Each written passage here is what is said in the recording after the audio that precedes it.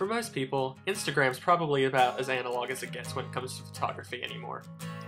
Projecteo is one company that's working to make that something that's not a bad thing. They make these little tiny projectors, and then they print your Instagram pictures onto actual film.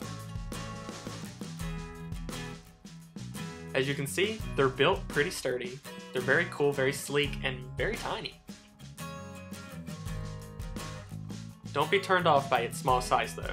This is one of the coolest gadgets that I've seen in a very long time that takes digital photography, cell phone photography, and really implements that in a way where you can feel analog about doing it.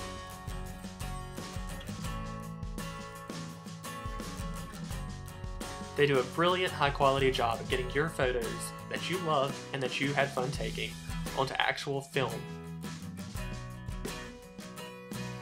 Projecteo works best when in the pitch dark and when you have a background that doesn't have a pattern on it.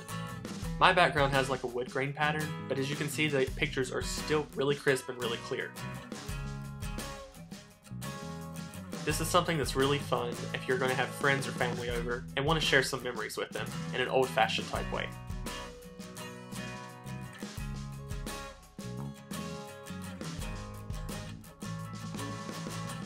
The coolest part is you actually get to pick the photos that go onto your slides.